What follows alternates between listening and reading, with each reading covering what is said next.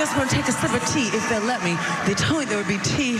Oh, it's a disaster. Okay, well, we'll just have to rough it. I'm going to be just like everybody else with no hot tea.